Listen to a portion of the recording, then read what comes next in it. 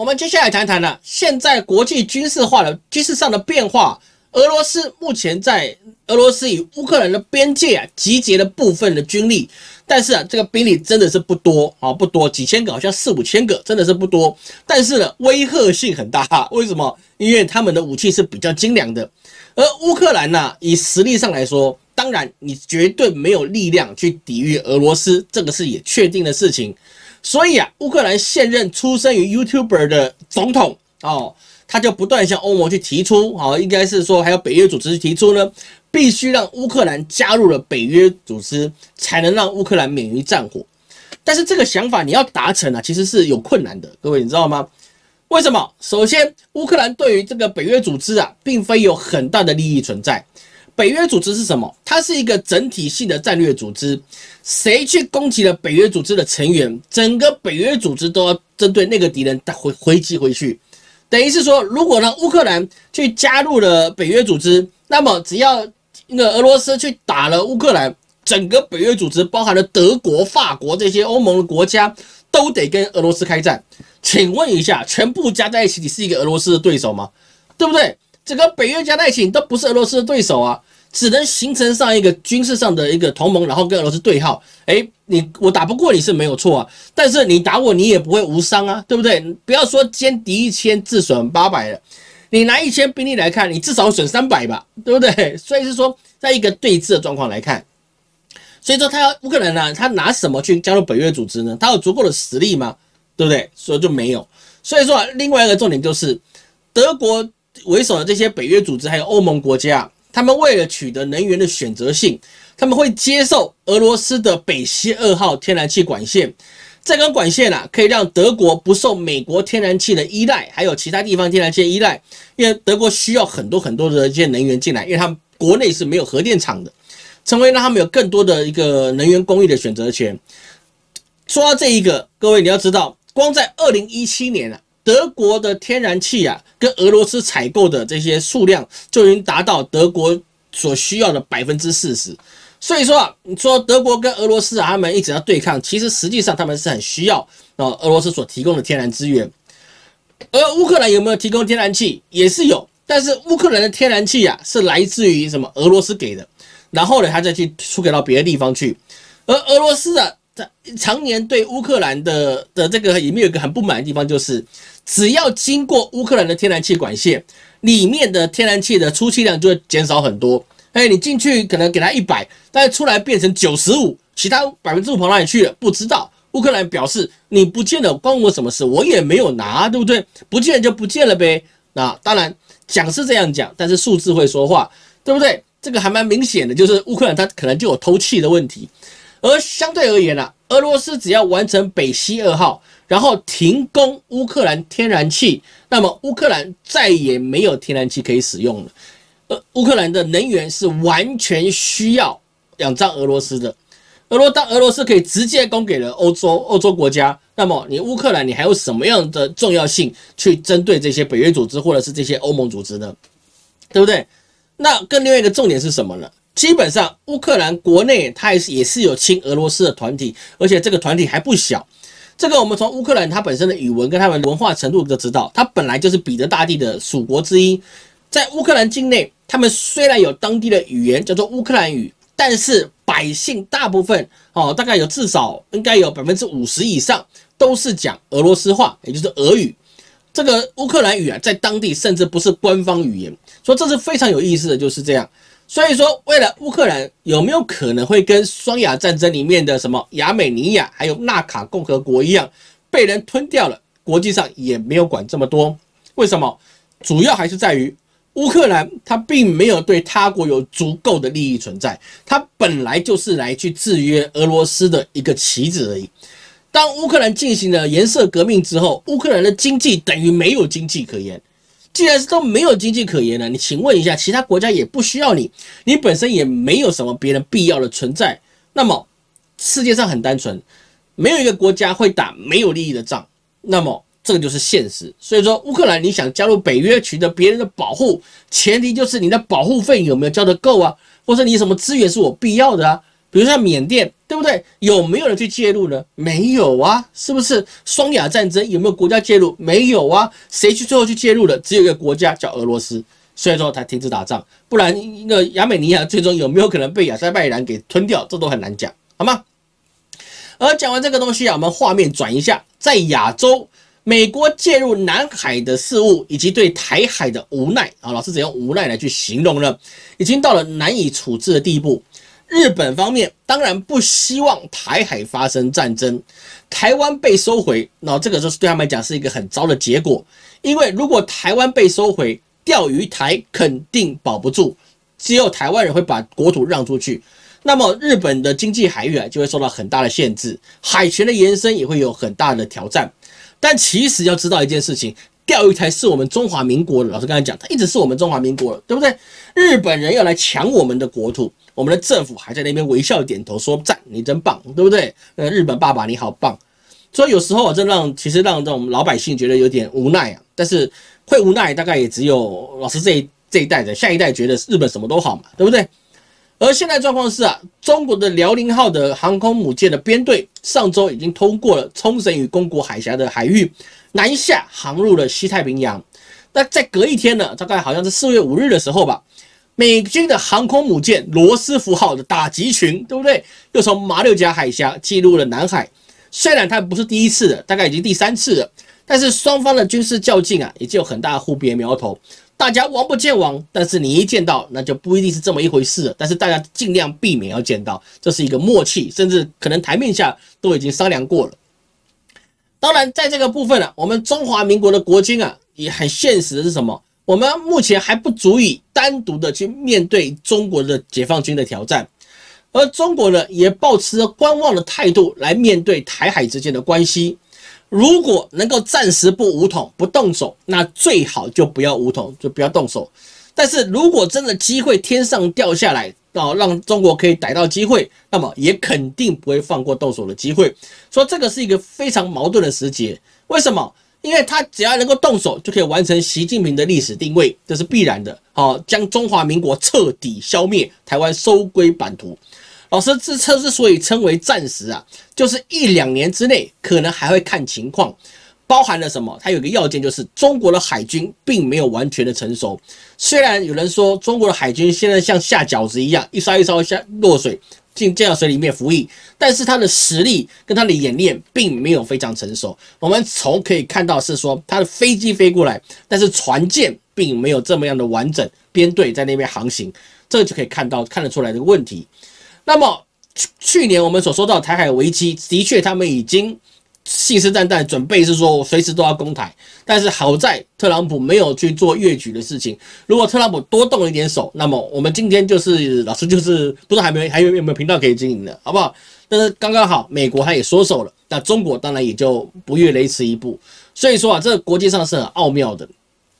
中国现在海军现在还不够完整，所以是说他对于美对付美国的军队啊，也只能用导弹啊、航母杀手这些导弹来威吓美国跟英国的航空母舰，包含了伊丽莎白女皇号，这些都要挑战他们的威胁，都可以防御住。但是再久下去，就一定会进行收台，因为为什么？其实很简单的事情，美国的 CIA 已经失去了成都以及香港的控制权了。这个是大家都知道了，所以是说新疆的疆独以及香港的港独基本上已经完全控制住，所以接下来最大的问题就是台湾这个枢纽的位置的重要性。新疆的问题啊，在过去的过去的这个疆独事件、恐怖攻击事件，当然大家都知道，成都的领事馆里面他们的 CIA 去策动了新疆的暴动，在香港更不用讲，黎智英。就是准备去跟 CIA 合作很久了，不是准备，他已经跟 CIA 合作很久了，所以说他在这被判有罪嘛？因为为什么？因为你跑也跑不掉，美国就是把你牺牲了，对不对？因为他整个地方据点都被抄掉了，那么留你一个离子应该什么？美国又不欠你，对不对？给你钱赚的，那你今天大国的博弈之下，对不起，你牺牲你一个香港人，而且你又是华人，会痛吗？不会痛，对不对？所以黎智英他是被牺牲掉了。那么回到台湾问题上，在经济上面，台湾对于中国啊。除了晶片等高科技之外，对于台对台湾对中国啊，并没有存在的必要。除了地理位置跟晶片之外，是没有存在的必要。各位必须要认清楚我们这一点，从历史上就可以看出来了。而晶片的问题啊，中国大概也可以在三年左右大体上可以克服。虽然不能说它可以赢过台积电，甚至连跟它比肩都做不到，这是很确实的事情。但是对他们国内要使用的这些需要的供应，基本上至少百分之六十到百分之七十，它可能都没有问题了。那么那个时候，连美国在经济上都有可能会抛弃台湾，顶多卖你武器，但是经济上不用提，会会能够经济上帮助我们台美之间的 FTA 早就签了，就是因为台湾没有这么好的利益。那为什么呢？还要在经济上抛弃台湾了？因为到那个时候，美国的 Intel 以及英特尔大概也是有一定的晶片的自给自足的能力，这个是一个一定会发生的事情。而是这个事情是不用预测的，因为美国就已经把这件事情当成国策，美国政府要全力的去发展晶片，在自己制造、自己代工、自己设计，完完全全是独立生产跟使用的国策。三年。Intel 绝对有实力去抛弃台积电，甚至可以把台积电买到美国去，然后让他们那边自己生产。说台湾现在高科技的融景真的是这么融景吗？没有这么融景，没有这么容景。现一两年可能还可以，谁知道你会不会二零二三年美国突然研发成功？你都不知道。你说中国研发不起来很正常，但是美国你觉得两年之内或三年之内 Intel 还会毫无进展吗？真的会这样吗？这个很难说，很难说。美国取得设备，嗯，不难，设计是他们自己设计的，软体是他们的，凭什么他三年之内没有办法达成晶片晶片的自给自足呢？对不对？所以意思说啊，现在目前台海的问题啊，不在于军事对抗的损伤考虑，而是在于要怎么样收台湾的民心，抵抗是最小的。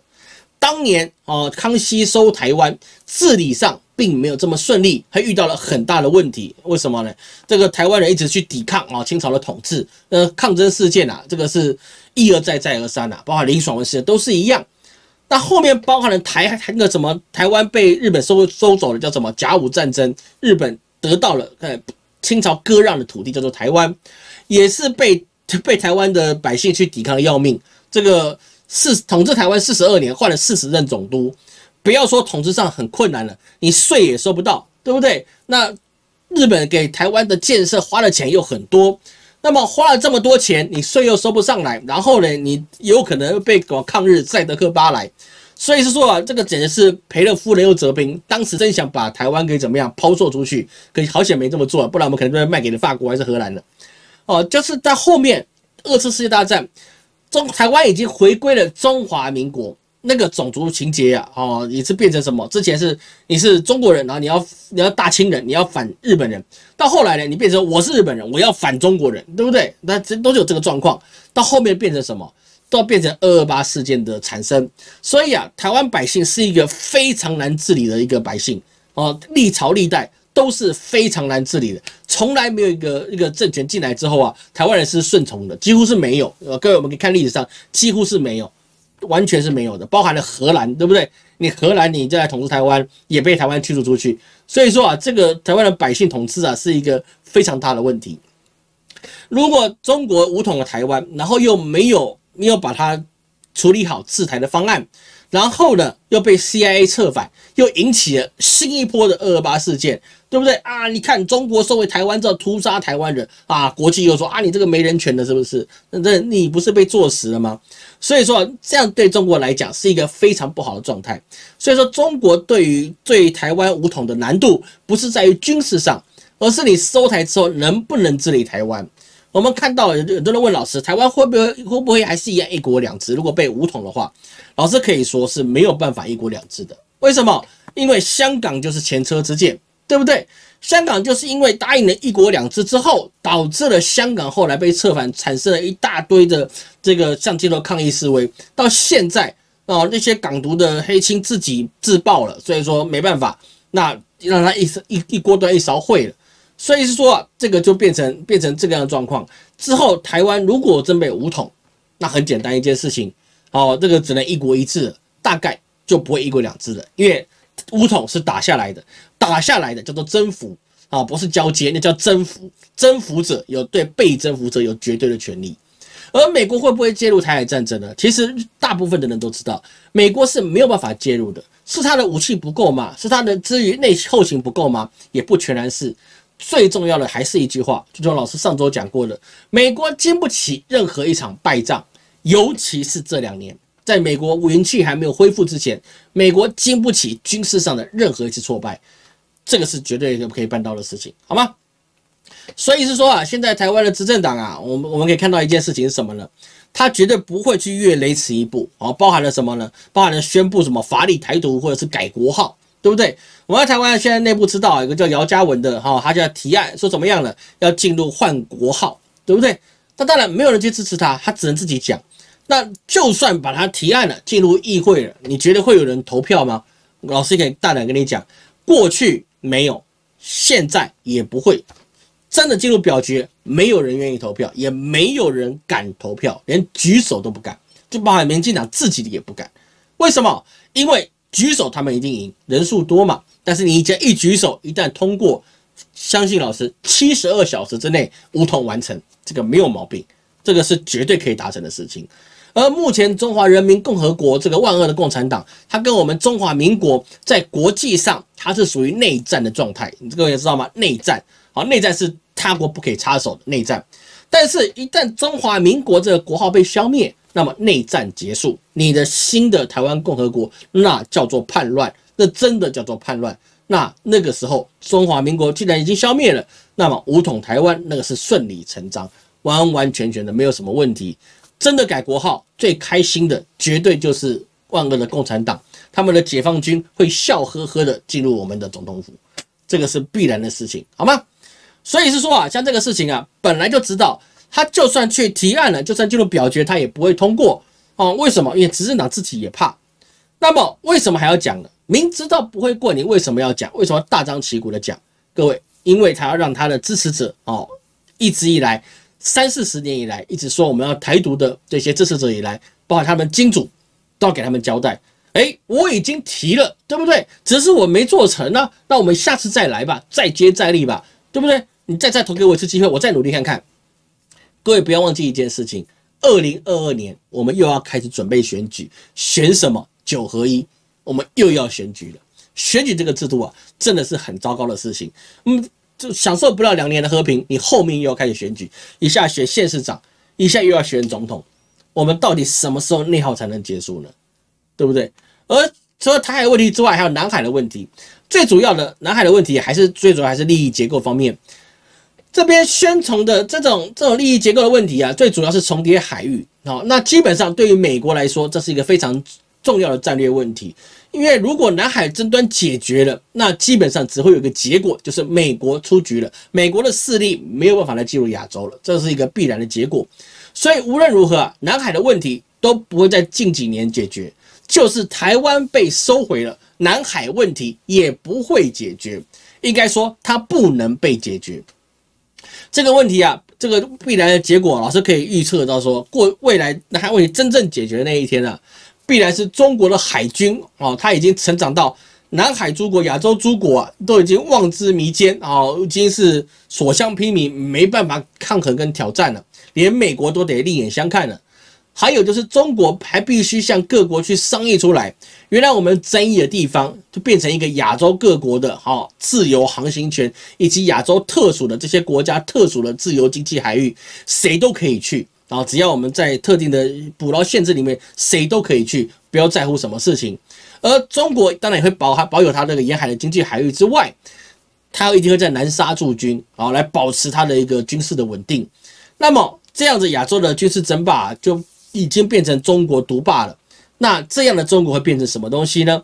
它会变成了陆权以及海权双料冠军，在亚洲没有人可以挑战它。而当这一个中国达成这件事情的时候啊，我们就可以知道一件事情：第三次世界大战就会开始酝酿，不会爆发，但是它会开始酝酿。但是到那个时候都要准备爆发的前夕啊。我们可以确定一件事情，就是什么呢？现在台面上所有的政治人物，包含普京，包含习近平啊，大概都已经早就灰飞烟灭了，连渣都不剩了。这件事情啊，第三次世界大战啊，必然是后继之军，继续去争夺地球统治者的宝座。当然，以人类的尿性啊，玉石俱焚，这是必然的结果。人类打仗都要求的就是敌我兼败，这个是打仗的一个美学，你知道吗？从一一战到二战都是这样，一定要找一个大家一起鱼死网破的打法。而现在对老师的立场而言啊，台湾能不能产生下一代的总统才是值得忧虑的。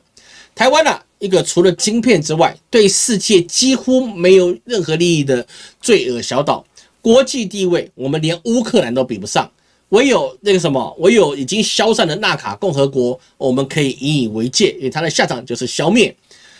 至于两岸为什么不能合同，这也很多人问老师，两岸为什么不能合同呢？他哎，那得问谁？不是问老师，你得问总统府里面的话事人，他们愿不愿意啊？但是至少他们愿意不愿意，老师不知道。但是至至少老师表态，老师本身对于合同是不愿意的，对不对？我不愿意怎么样呢？为什么我要愿意呢？有本事解放军你打过来，打赢的你就是新老板。只要解放军能够站在台湾本岛上，老师绝对投降，欢迎你进来。为什么？因为你打赢了。哎，打赢了，我当然心甘情愿纳税服从。你治什么法，我就遵什么法。我受不了，我离开嘛，总可以吧？这当然是没有毛病的。但是合同没毛病，啊，这个是不可能的。为什么？中国你不用再想跟毛泽东一样空手套白狼，再从中华民国的手上把最后一块土地给逃走吧，对不对？研究历史就知道，毛泽东他连枪都不会开，但是抗日也抗不好，全部都是蒋介石打下来的。空手套白狼，直接给他一锅端。当然，你说世界是百姓去决定谁要当皇帝的，当然也是。所以说，中国人民选择了共产党当成了当成了皇帝。那你要让台湾人去相信你是皇帝，相信你可以统治台湾，你什么也不用讲，解放军你派过来，你能够站在总统府前面，大家服不服都得服，这不是最好的结果吗？吵这么多都没有意义的，好吗？好，看各位什么问题啊？